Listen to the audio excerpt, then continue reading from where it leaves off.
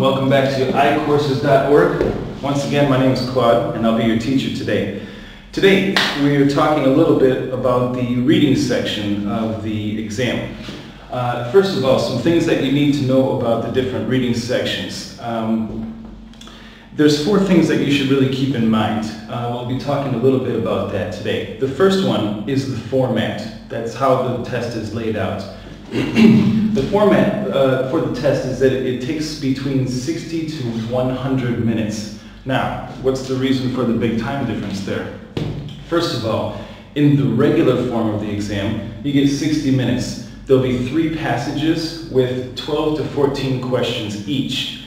We have an extended version also. Um, that one is 100 minutes, and that can be up to five passages each. Now, one of the things about the extended version is it's something that they do on a random basis. It might feel like you're getting picked on, um, but that's not the case. So uh, the way that you find out if you're doing the extended version is look at the timer when you sit down for that part.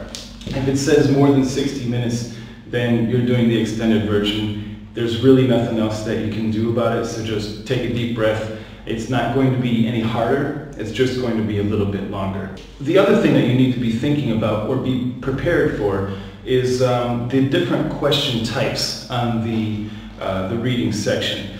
Um, we have a lot of different question types. First of all, main idea questions. That's probably going to be the very first question that you have on any single passage. They always have a main idea question. That question basically tests your ability to understand the text as a whole. It asks, what's the main idea of the passage? The next one are detail questions. These are questions that uh, it's really important to take lots of good notes. These ones are going to be talking about specific details in the, the text. It won't be an inference, it won't be anything implied. Um, things like dates, times, people, specific details like that. Also, vocabulary. Okay, well, the TOEFL isn't supposed to test your grammar, right? The vocabulary part of the, the vocabulary questions on the test, they don't necessarily test your grammar. Um, they might introduce a new word. If you don't know the word, they're going to give you a definition for it. So the vocabulary questions just test your ability to get the information from the text. Inference questions. Now, those questions uh, will ask you about things like, what did the author mean when they said this? And then they'll give you a sample sentence to ask about. So those are about inferred meaning. Um, another one, the sentence simplification and rewording. This is one where they give you a sentence from the text. Uh, they'll tell you exactly where to look on the text, and then they give you some options of how you can say that sentence in a different way. Um, so it's basically rewording and simplification. So you have to look at the specific information in the sentence. They try to trick you a little bit with uh, giving you options that may sound correct, but sometimes they have the opposite meaning. Sentence insertion. Now that's one that can be difficult even for native speakers. Uh, you'll see on the whole reading passage, there'll be about five, usually five, sometimes four, but usually five little boxes where the sentence could go. And then they give you a sentence and they ask you where to put it in the text. Now, sometimes, at least two of them, it'll seem pretty obvious that it can't go there and it can't go there. So you can eliminate those two options. Usually there's about two that are like that. The other ones that are a little bit more difficult, you really have to look at things like pronouns. Um, how does the pronoun fit with the information in the sentences? Also, the order of information. Sometimes you have to look at an idea that was introduced here in the text and the sentence furthers that idea. So you know it goes after this one but before this one. So you have to look at things like pronouns and order of information. The rhetoric and purpose. Those questions talk about what is the what is the meaning? What does the author mean when they say things like this?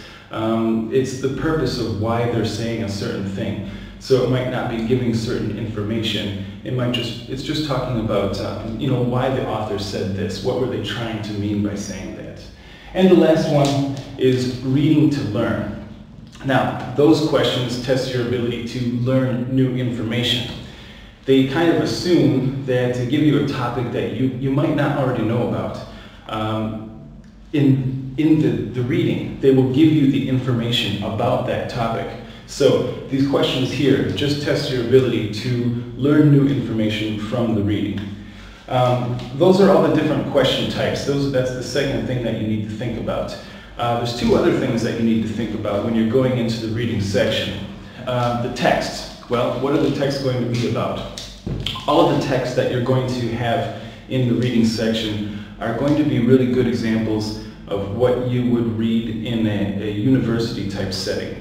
Obviously, the TOEFL exam is, uh, is there to prepare you and to test your ability to uh, handle yourself in a university situation. So the reading that you're going to have is a good example of what you might have in a university setting.